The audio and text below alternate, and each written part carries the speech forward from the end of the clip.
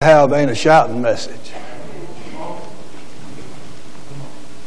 I'm not taking away from that. But this is side B. Open your Bible to the book of Hebrews, chapter 12.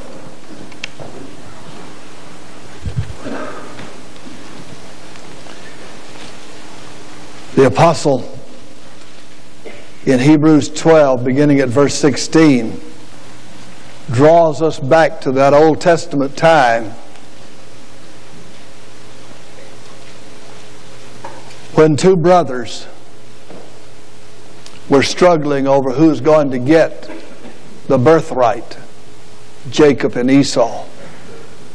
Jacob has made some thin pea soup, and Esau comes in hungry. He says, Give me some soup. He said, I'll not give it to you unless you give me the birthright. He said, I'm so hungry that a birthright don't mean anything. And he hands him the ring signifying the birthright. He sold it, the Bible says, for a mess of pottage. Just some thin pea soup. Now God says, lest there be any fornicator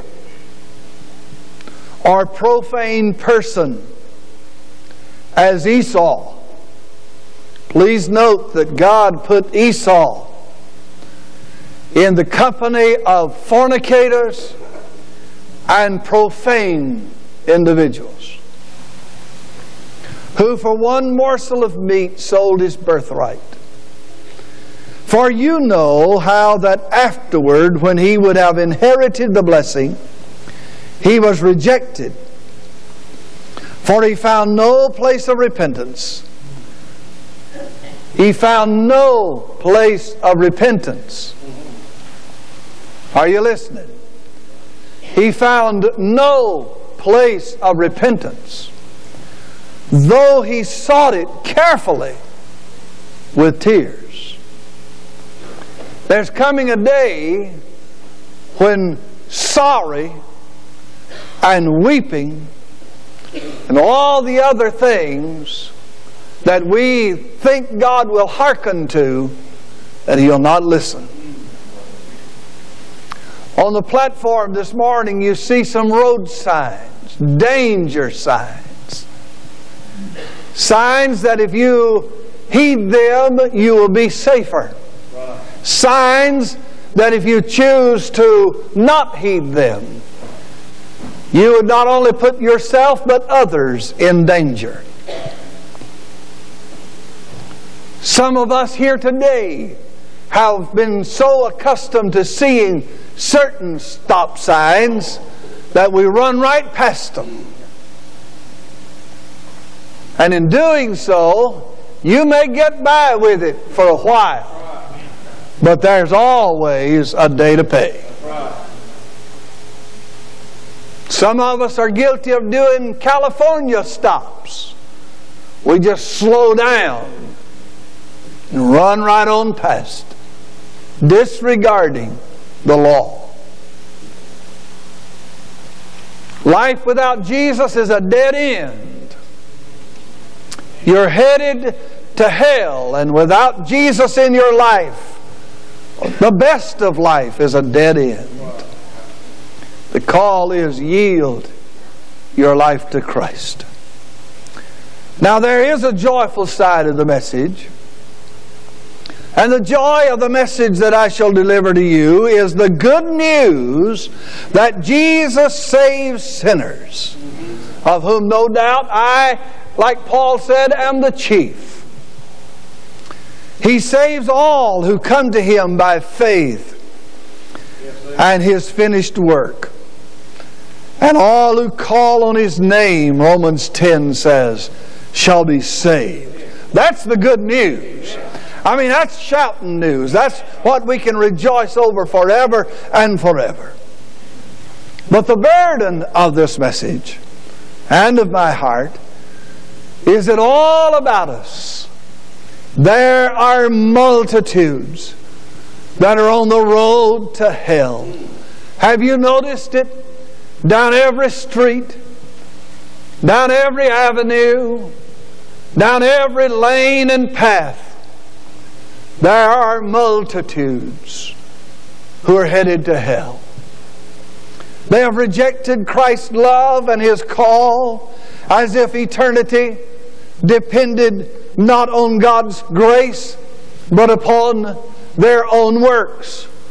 Or they think that God is going to make an exception with them and He'll just forget about their sin and He will let them into heaven because He is such a loving God.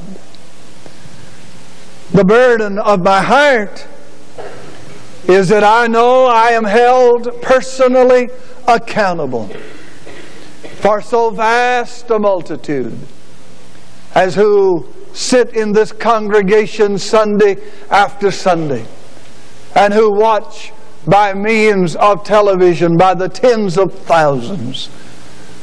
And I will be held accountable when I stand before God for every sermon and for every plea, for every preaching of the Word.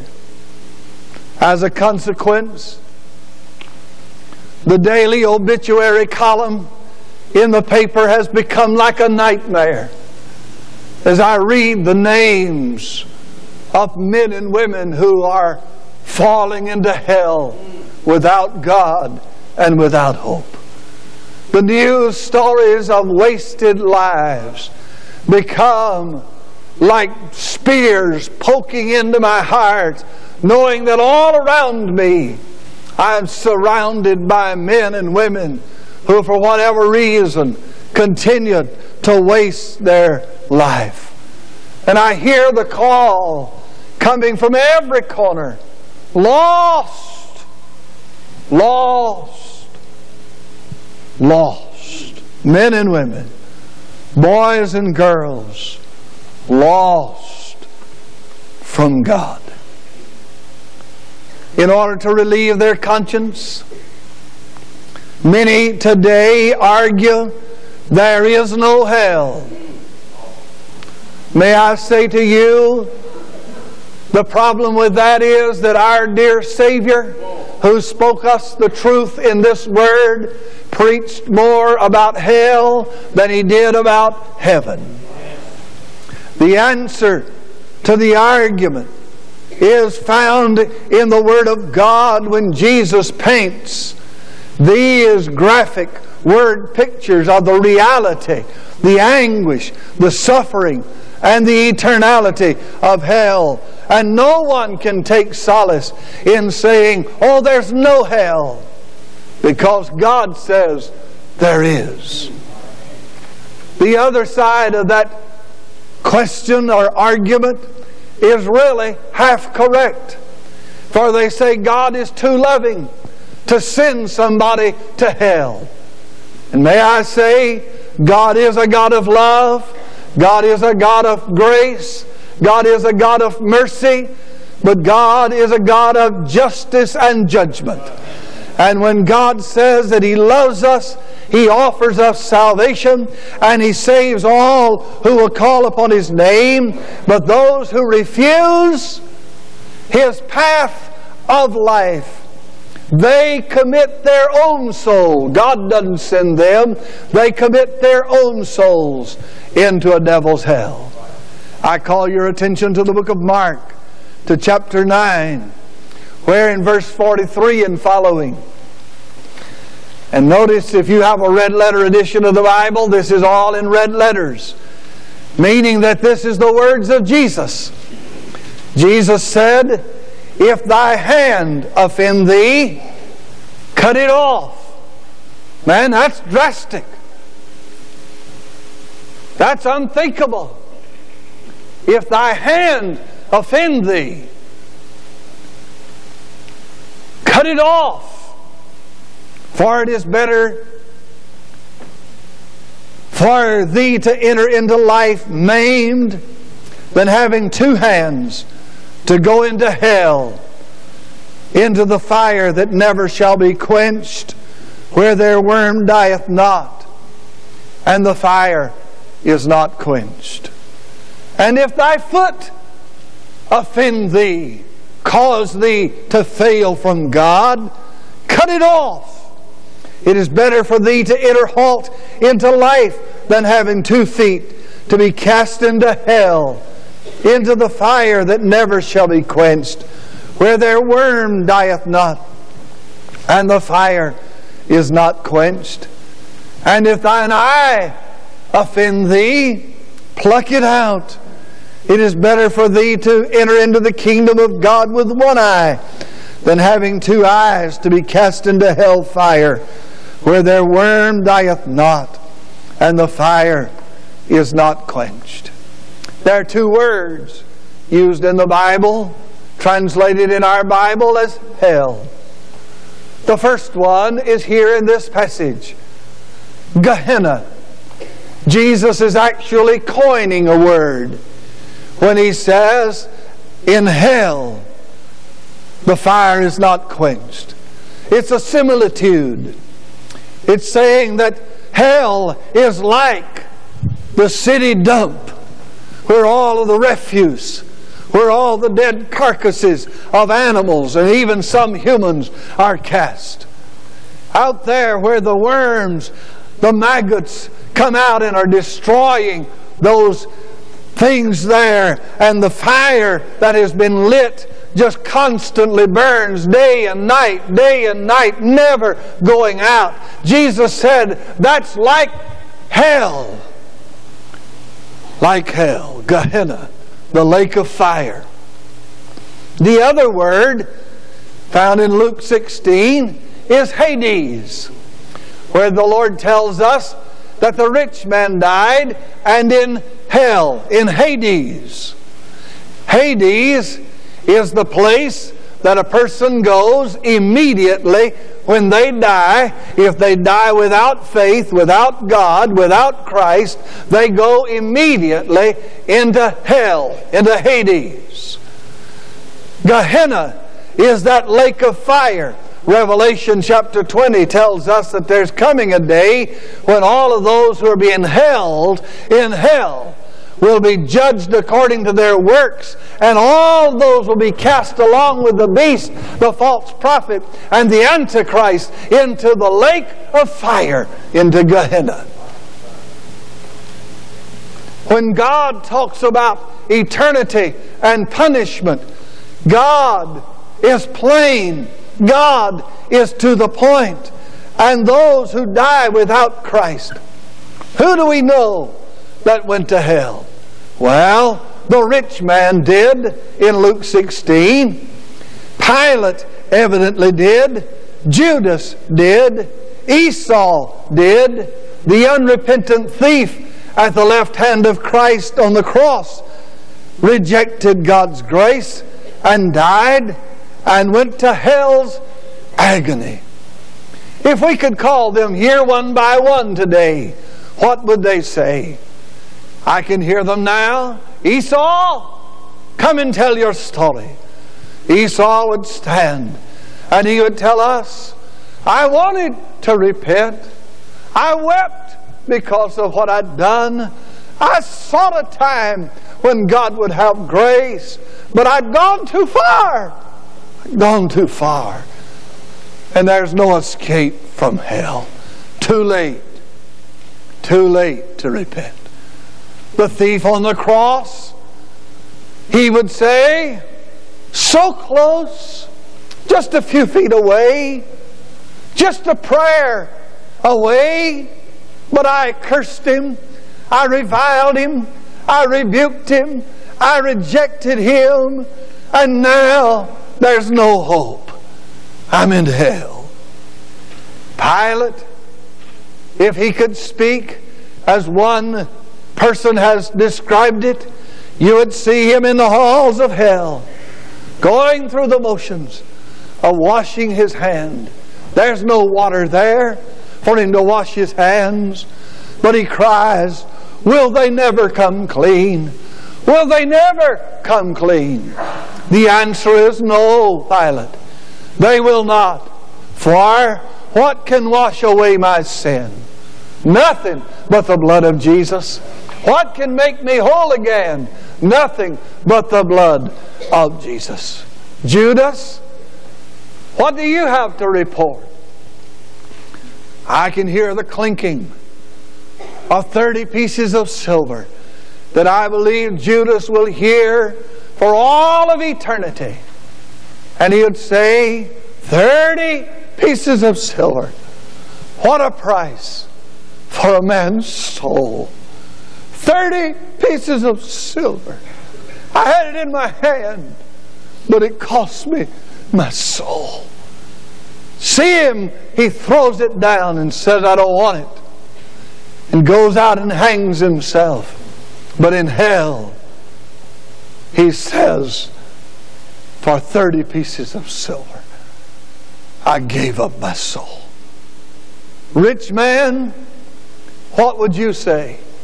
And he's the only one, by the way. We don't have to wonder what he said. The Bible tells us in Luke 16. For the rich man says, as he speaks to Abraham, I am tormented in these flames. Send Lazarus, warn my brothers that they will not come to this place.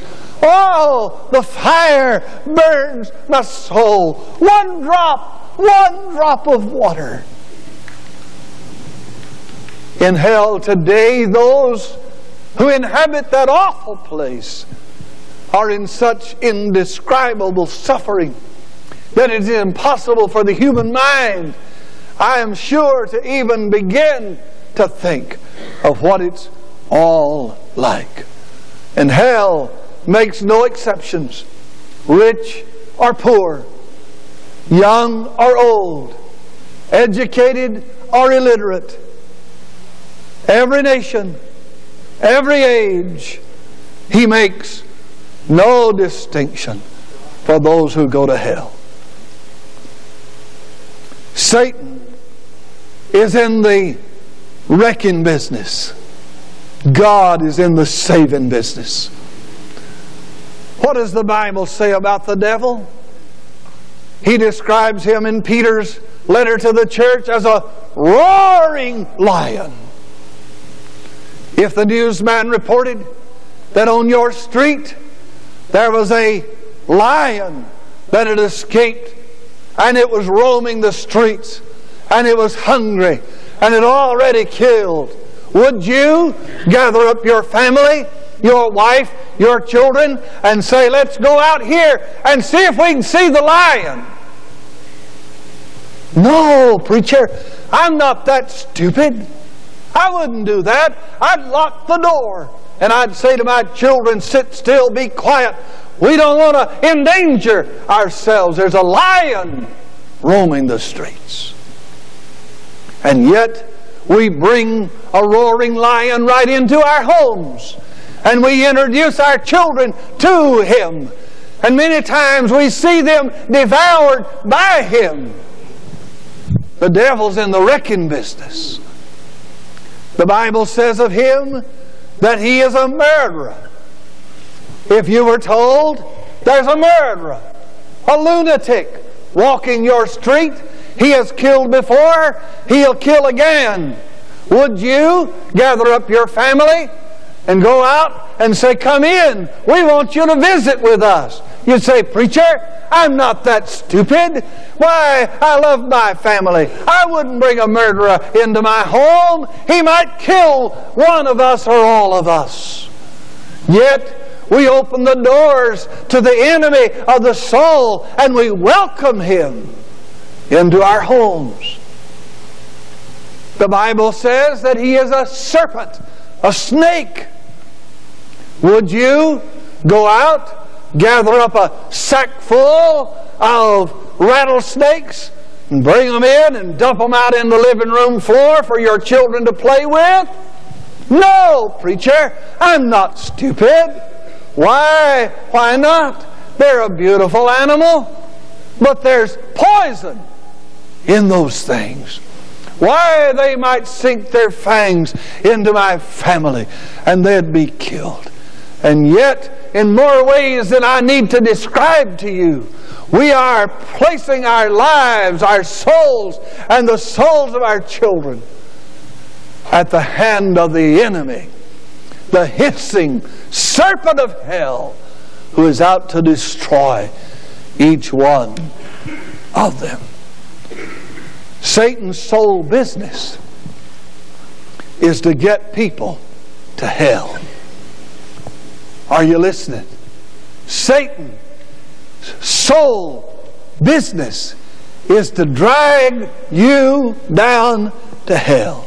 Now, how's he doing that? First of all, by giving them excuses. Excuses. In the Bible, we're told the parable when the master said that he made a great wedding feast and he invited people to come. And at the time of the feast, he said to his servant, Go out and bid those who are invited to come.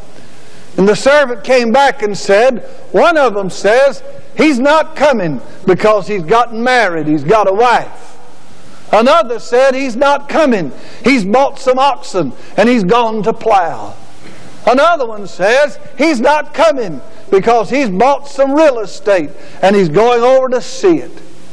And he said, Go out and compel them in the highways and the hedges to come in that my house might be full. Excuses. A lot of people today say, Well, preacher, I would be saved, but my wife is keeping me from God.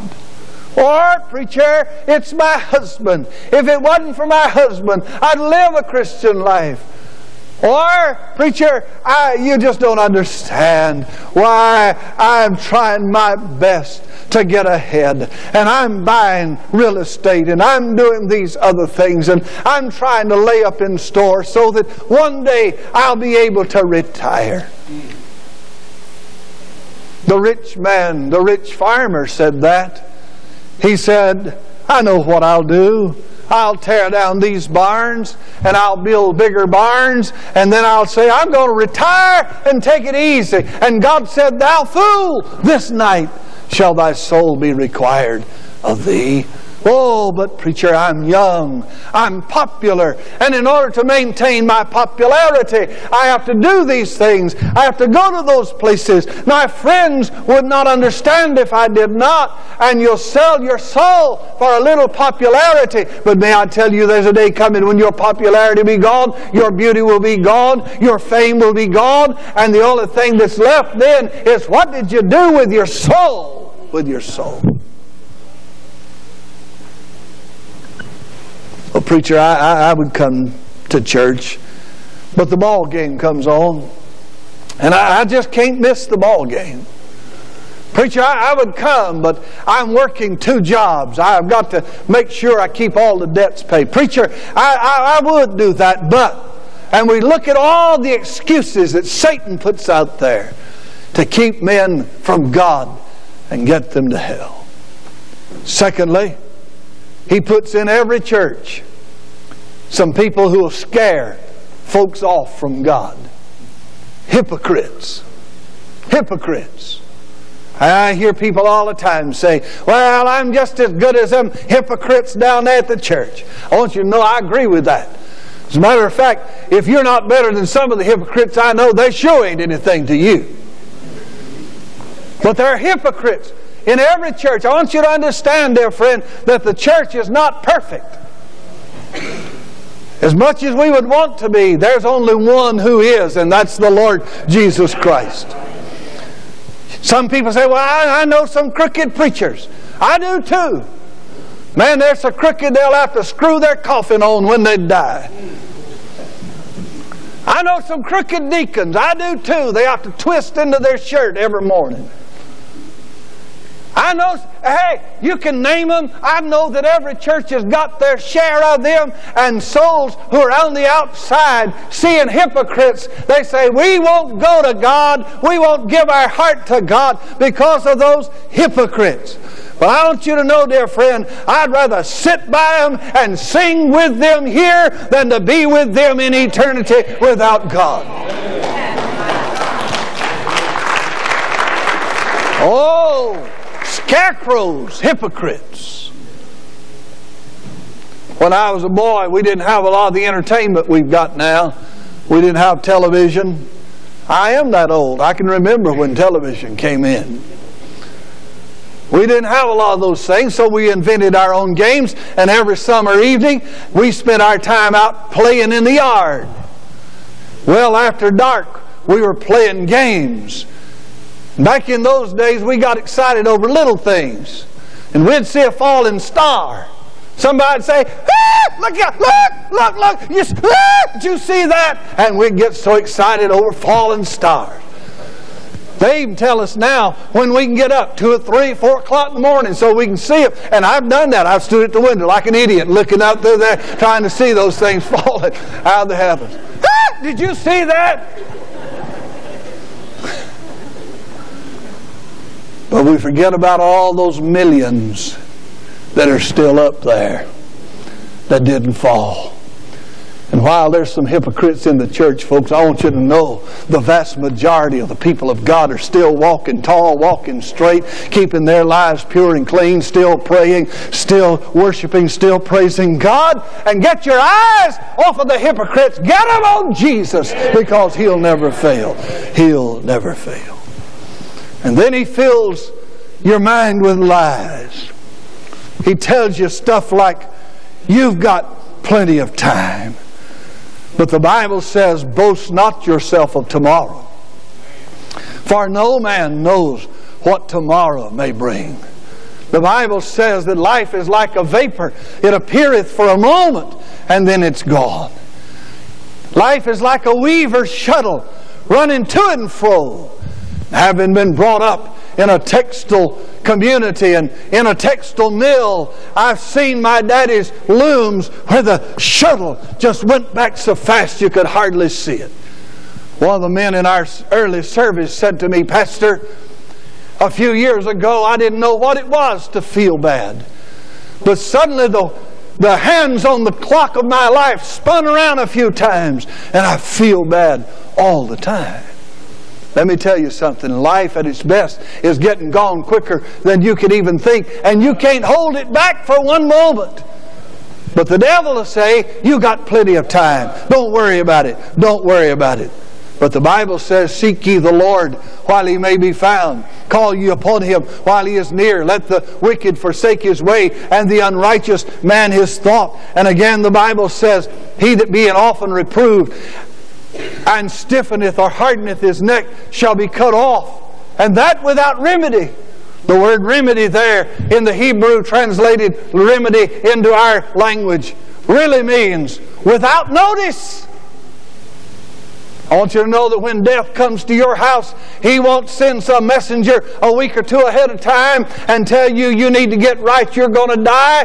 He'll just show up and put his icy fingers around your throat and choke the life right out of you, and your neighbors will come by and they'll cry and say, He is a good man, but if you don't have Jesus in your heart when death has come calling, friend, you're lost and lost forever.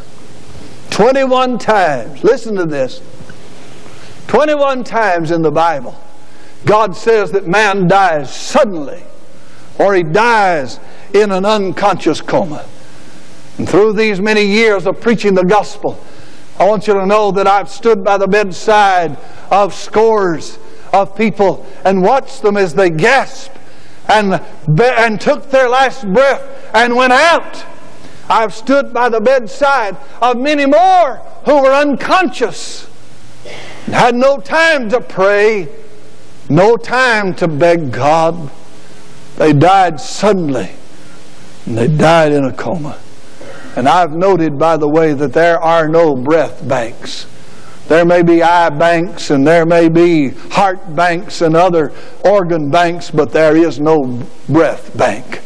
And friend, when your heart stops and your lungs cease to pump oxygen into your body and your brain dies in hell, you will be if you die without God.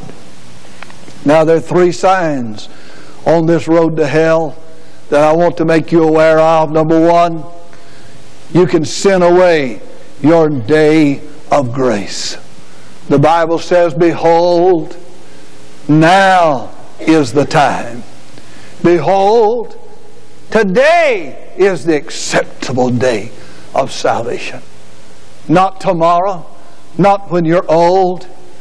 Now. Now. Can you send away your day of grace? Is there a point beyond which God will not go? Does not God say in the book of Genesis in chapter 6, Behold, my spirit shall not always strive with man? There is a place beyond which God will not go. And I don't know where that is in your life or anyone else's life for that matter, but I know it's true. The second sign is mental illness. You say, well, preacher, I don't have to worry about that. I'm sane. There's not even any hint of mental illness in my family. May I just say to you, dear friend, there may be some little thing growing inside of your brain that you don't even know is there. The doctor has any idea that there's anything there, but it can press on a nerve and you'll wake up tomorrow babbling idiot or some other many thing could happen to you. I could take you to another state and introduce you to a young lady who was one of the most brilliant women that ever lived, graduated from, from uh, college when she was 18 years of age, got a job with NASA down in Houston, was invited out to a marijuana party. She didn't even know what it was, but she went along with her friends and they gave her a joint of marijuana. She smoked it and something happened inside of her brain. Nobody knows exactly what, but today she can't find her way in and out of a room, she is absolutely unaware. Mental illness is a sign that says, get your heart right while your mind is clear. Thirdly, is the reprobate mind. In the book of Romans, in the book of Romans, in chapter 1, the Bible says, and as even as they did not like to retain God in their knowledge, God gave them over to a reprobate mind to do those things which are not convenient. A reprobate mind, that mind that don't think about God, that mind that feeds itself on the things of this world, that mind that wallows in the muck and the mire and the filth of this world, that mind that thinks that the offscouring of humanity is that which is to be desired, that mind that falls into the reprobate, that mind which becomes the homosexual and the lesbian, that mind which becomes the bestiality people, that mind which curses God and mocks God and says no to God, that mind God gives them up to a reprobate mind. They don't even think about God anymore. They don't think about their souls anymore. They only think about feeding their own body, feeding their own lust, and giving themselves to the fulfillment of themselves. Is that a time? Hey, you can know people just like I do that they thought they were in control, they were going to do their own thing, but they found out that as the further they went away from God, that finally got so far they don't know where God is. And then the fourth sign is God leaves you. Now, folks, I want you to know one of the most frightening things in the world is for a person to suddenly wake up one day and God's gone. God's gone. God's gone. Does that ever happen? I stood in the home of a very wealthy man tried my best to convince him of his need for Jesus. And in anger, he commanded me out of his house, threatened to kill me if I didn't leave. I left his house. Within just a few weeks, about six, that man died. He died trying to drive the demons off of his bed that had come to drag his soul down to hell. All of his money didn't help him then. All of his arrogance didn't help him then. God was gone, and the devil came to claim his soul. A former beauty queen sat on the back row of this auditorium. I preached my heart out. I pled for souls. Though I did not call her name, I pled that she would respond. And I watched her shake her head time and again. She'd make eye contact with me for a moment, drop her head, and say no. She walked out of the service and she arrived home. An angry lover that she had rejected met her, raped, and killed her. God was gone. God was gone. Warrenville, South Carolina, where I pastored First Baptist Church. Tall man, standing there right at the lip of the balcony. God dealt with him, but he would not respond. My deacon brother standing by his side said, I'll go with you if you'll go, but he would not.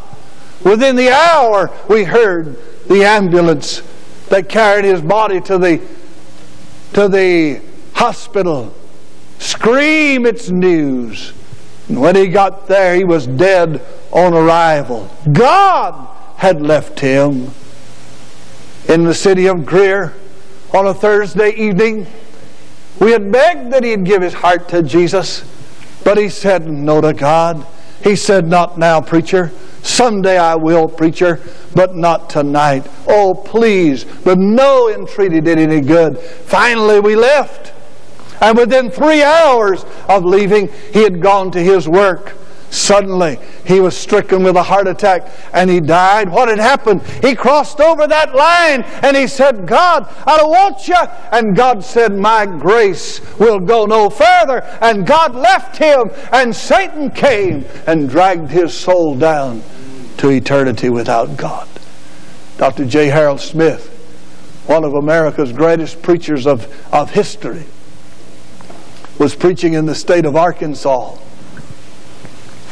In that service, the building packed. On the back pew was a young teenage couple, college students.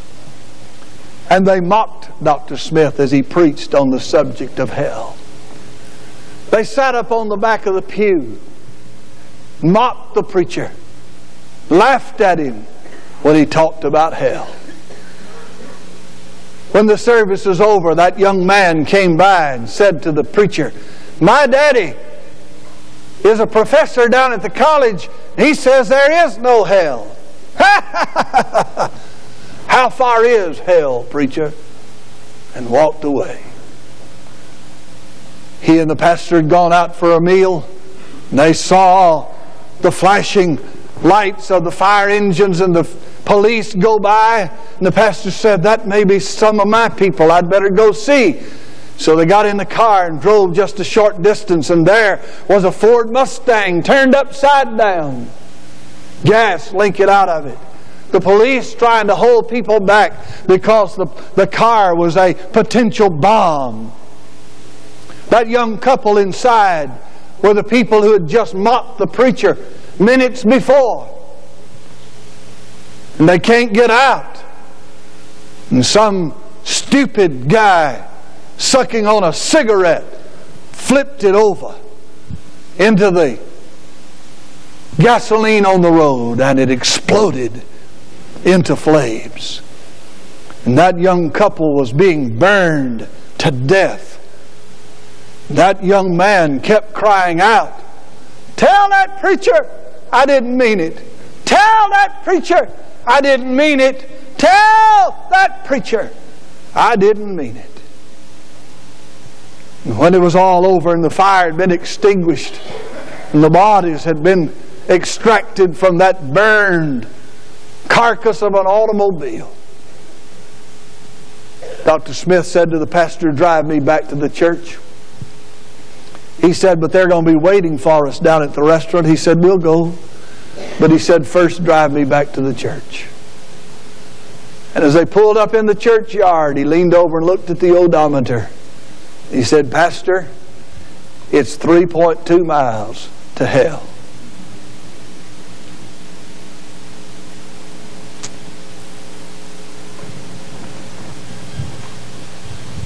Without God, hell is ahead.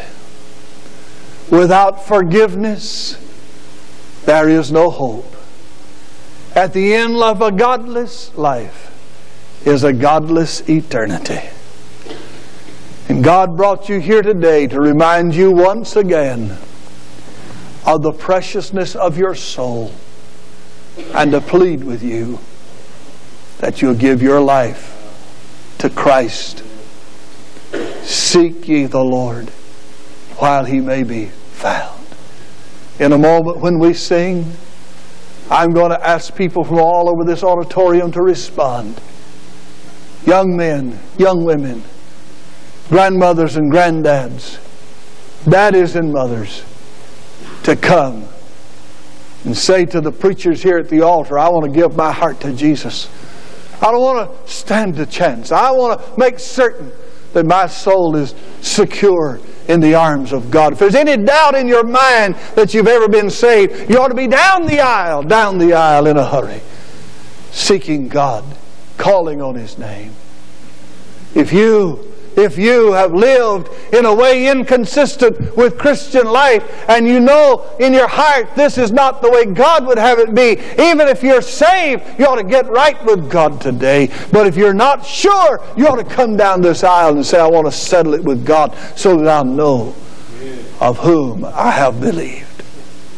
If you're here, you've got loved ones that are lost and undone without God, on their way to an eternity without hope. There ought to be tears in your eyes. There ought to be a brokenness in your heart. And down on this altar you ought to come, pleading to God for their souls. I don't know what God's saying to you, but I know that in this congregation, all over this place, God is calling you to repentance. Esau said, Hey, I don't need that birthright. I'm just interested in taking care of things on my own life now. But then God left. And he sought for a place to repent and wept. But he couldn't find God. And God's here. I know he is. I prayed him here. God's here. His Spirit is walking the aisles, moving among the pews, touching hearts. And today is the day of salvation. And while we sing in just a moment, I'm going to ask you all over this building to say yes to the wooing voice of God. Pray with me. Father, this is your message. This is your time. I've extended your invitation. Now, Father, oh dear God, call this people to repentance. And I'll bless you. I'll praise you for every decision registered, for dear souls saved, for lives changed, for homes rescued. Oh God, have your way in all of us. I pray in Jesus Christ. Amen. While we're standing, we're going to be singing hymn number 307. You be the first. You be the first to answer the call of God and come just as I am, and you're coming from the balcony, from the main level. You're coming while God is calling you.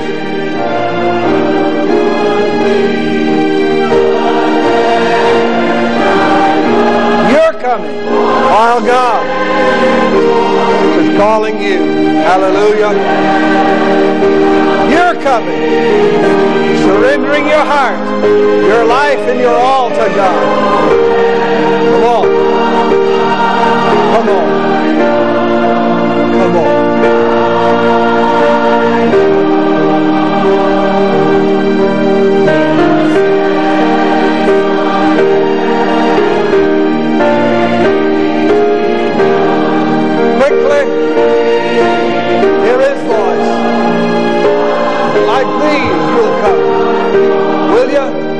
Some brother you, some sister you, some couple, some family. Hear God and come. Hear God and come.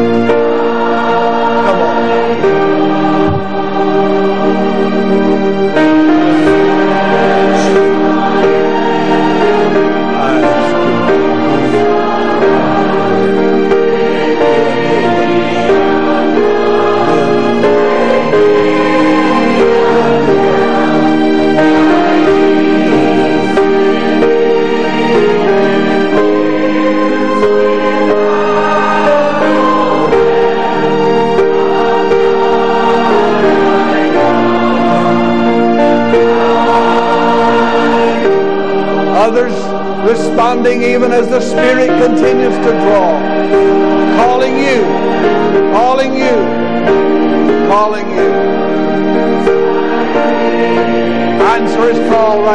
say yes to Jesus.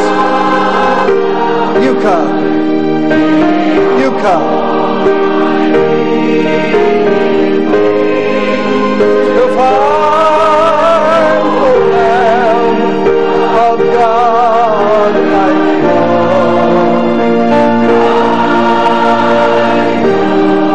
Will not tarry much longer except I just need to plea once again.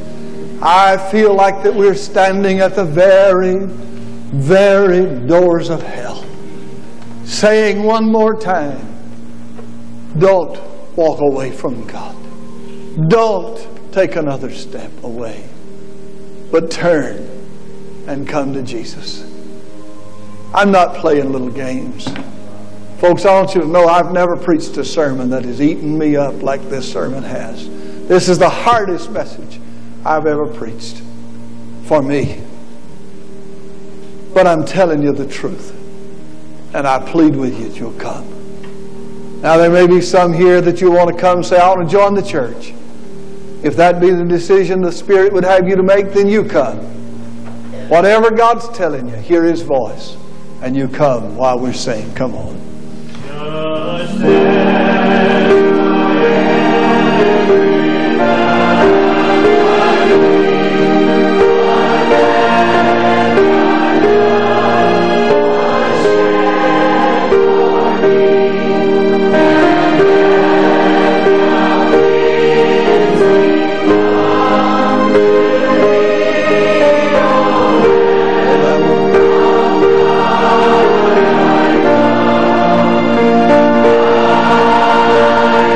God's holding the door open for somebody. Is it you?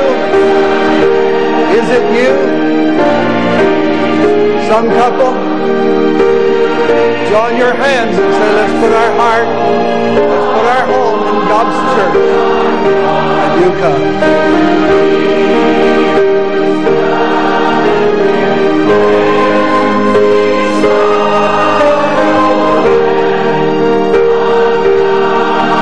Last stanza.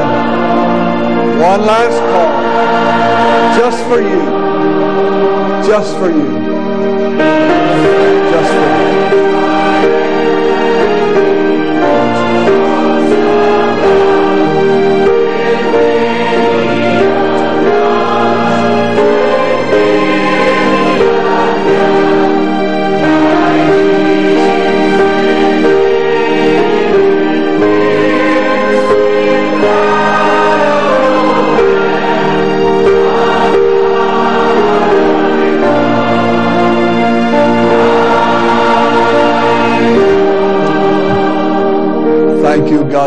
You for your patience and your prayers.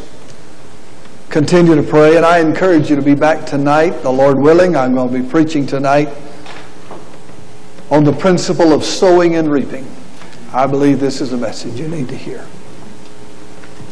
And I'll ask you to pray. I'll be going almost immediately to the mortuary where we'll be conducting the funeral services for Miss Ruth Cook. You'll be praying for her family, that God will comfort them, but even in this, that God would use her passing to call others to surrender to the Master. God bless you.